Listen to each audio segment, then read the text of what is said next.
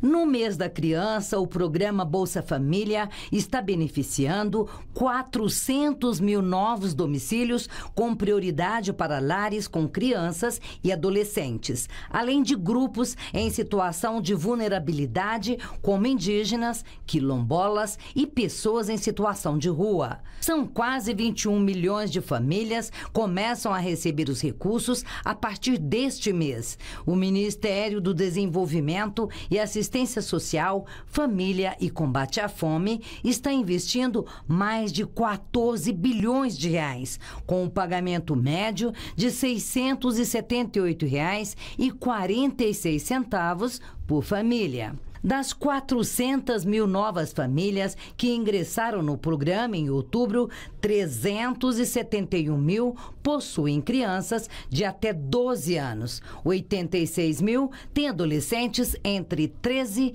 e 17 anos. E 66 mil são de grupos populacionais tradicionais e específicos. As regiões com maior número de famílias incluídas foram o Nordeste, com mais de 100 163 mil e o Sudeste com cerca de 130 mil novas famílias. Sanai dos Santos Souza é quilombola e vive no município de Oriximiná, no Pará. Desempregada, foi contemplada com Bolsa Família. Ela compartilha a importância desse benefício para sua família. É uma grande ajuda nós mães solteiras, nós mães que estamos empregadas, que temos que cuidar dos nossos filhos, faça seu Bolsa Família, que é uma grande ajuda.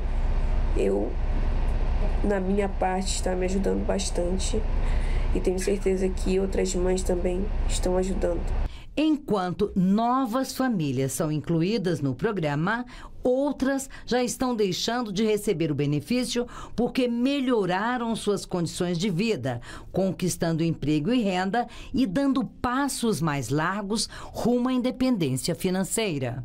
Somente neste mês, 295 mil famílias estão ali com a renda elevada, ultrapassando de meio salário mínimo per capita.